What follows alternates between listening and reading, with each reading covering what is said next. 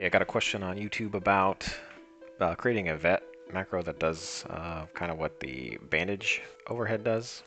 Uh, just to give you an example what the bandage does. Bandage start and it kind of counts down. That's underneath the display counters bandage timer. That comes from here. So what we're going to do is we're going to make one for vet. Because right now if I hit vet, basically says, hey, you're using your, your supplies, but that's it, right? And it's you finished. Great. But let's go ahead and make one for veterinarian. Make sure on a profile. Uh, normally I'm on pre-subscribe, but I'm just going to stay on my tamer profile for now. Uh, let's go over to scripts under YouTube. Right click and say add category. Tamer. We'll say new. And we'll just say uh, simple vet. We want to get the ID of our veterinary supplies. So if we do greater than info on the vet supplies, you can see it's called a wall shelf, but we're just going to use the ID click that little blue button, it will copy it. So we say if find type 25 75 0 in our backpack, D click type that same letter in our backpack, else overhead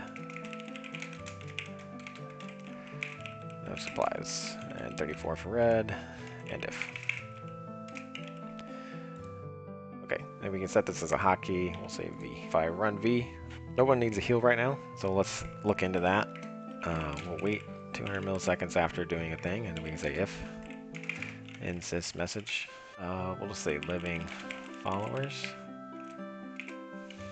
Overhead. That. Nothing to heal. And we'll use the 88 so it matches the color of a bandage. But you can use whatever color you want. Else.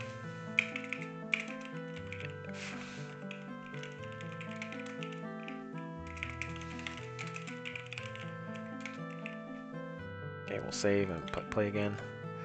So nothing to heal. Okay, so let's uh, go ahead and attack a guy. And hit V again, starting. You begin veterinary supplies. So now how do we do the countdown?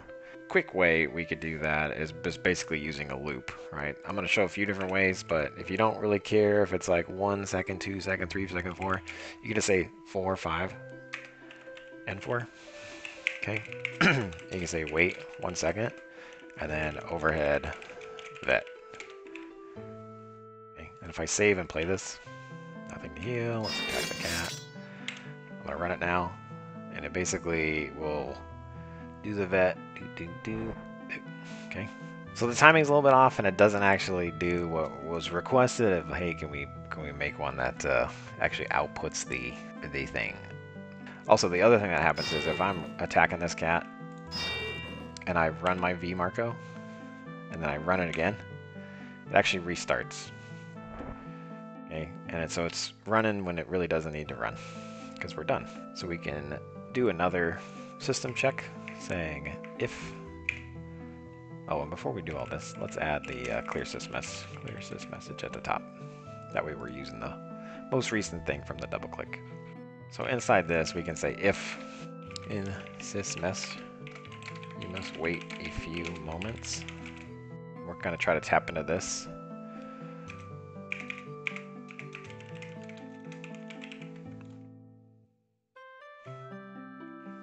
That's vet starting. Okay. Already running.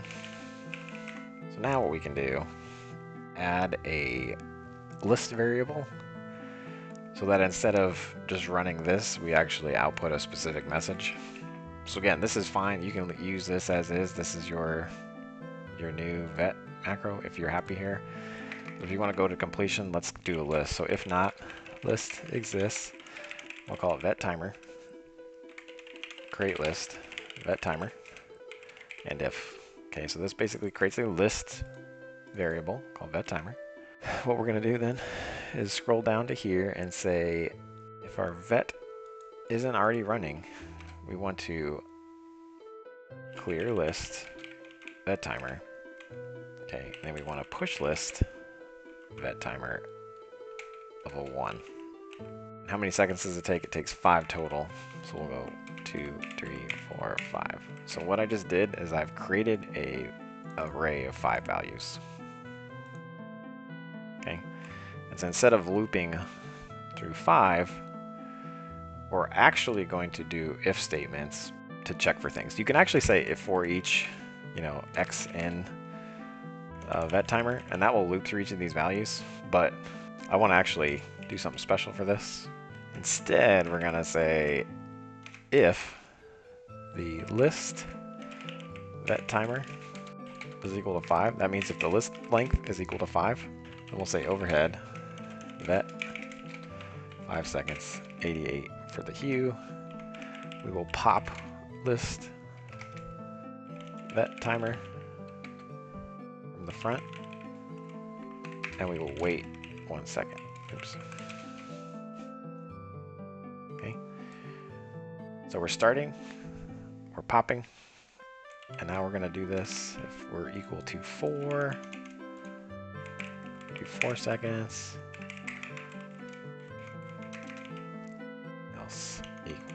5, oops, 3, 3 seconds, equal to 2, 2 seconds, equal to 1, 1 second,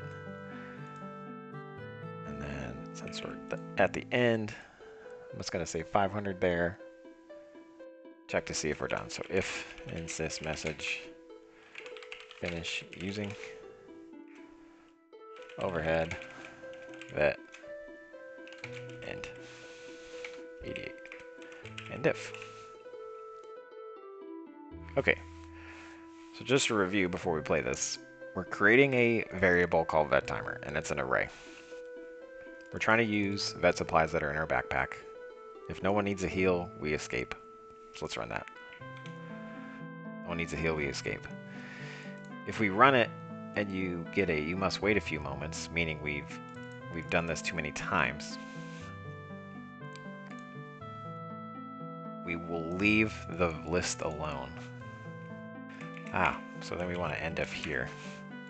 So I messed that up a little bit. So this end if. Because I basically want to create the list, this new list, whenever we begin healing. Okay? The reason why is because once we begin healing, we need a five second timer. So then what the script does, it says, hey, if the list length is five, then say five seconds. If it's four, four seconds, three, three seconds. And this pop list basically removes an element. So if we start off at five, we pop an element, then this next one will be true, the next one will be true, etc. If we replay the macro and there was two seconds left, the list should have two items in it. So when it reruns, it will skip this, skip this, skip this, come back down to here and say two seconds. All right, I think this will do it. Let's uh, let's try it out. Okay, so again, V, nothing to heal. Let's, let's attack the cat.